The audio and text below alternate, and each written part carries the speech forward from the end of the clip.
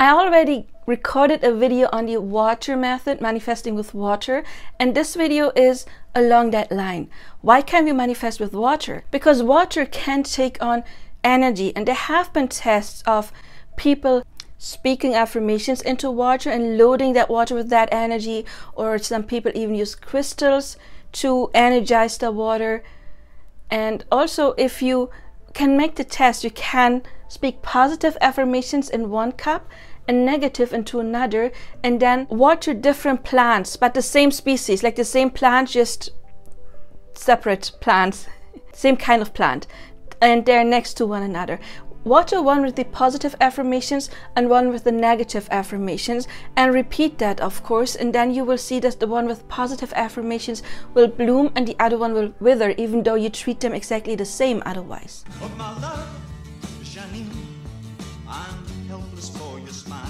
So water can be charged with energy. How does it work? Again, it is our intentions.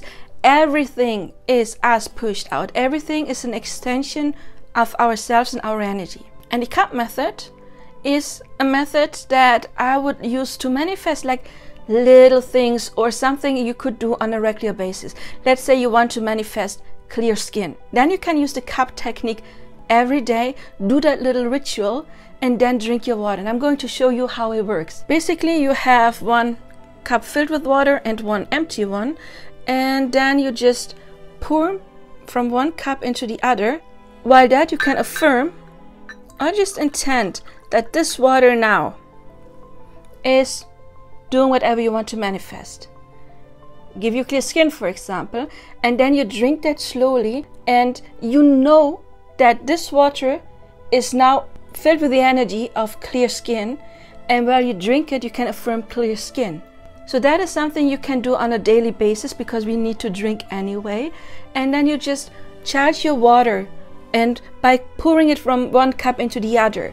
This is like the old and now new. Now, during the filling, it is getting energized because it is your intention, right? It is what you focus on in this moment. Remember, it's never the technique that manifests, it's always your beliefs, your assumptions. If you don't do this on a daily basis, you know, because you want to manifest, I don't know, clear skin, full hair, whatever it is, or money, you can, of course, drink the energy of money, you can drink the energy of love, you can drink the energy of regular contact with your person.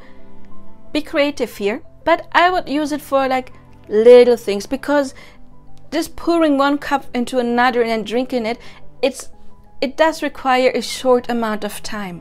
However some things that we see as big there's no small or big for the universe but some things we see as big and then we feel like we have to put in extra effort to get them or maybe we have limiting beliefs and then it does require extra effort to remove them first.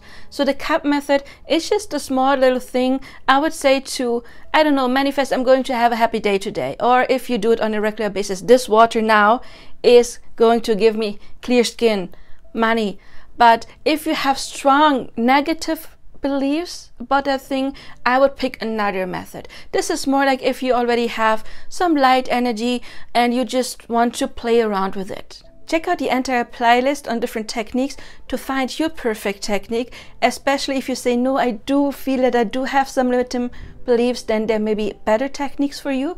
Check those out. I do see you there or in personal coaching if you want to know why maybe something is stuck.